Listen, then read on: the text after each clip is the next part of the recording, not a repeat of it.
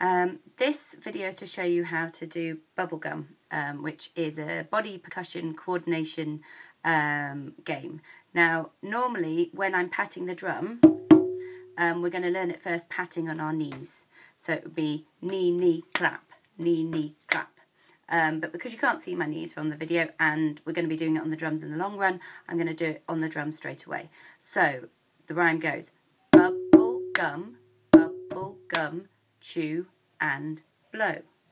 Bubble gum, bubble gum, scrape your toe. Bubble gum, bubble gum, tastes so sweet. Scrape that bubble gum off your feet. So the pattern for the first three lines is exactly the same.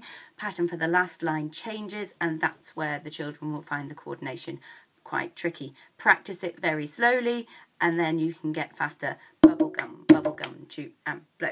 Bubble gum, bubble gum, scrape your toe. Um, and then that last line will really catch you out. Have fun!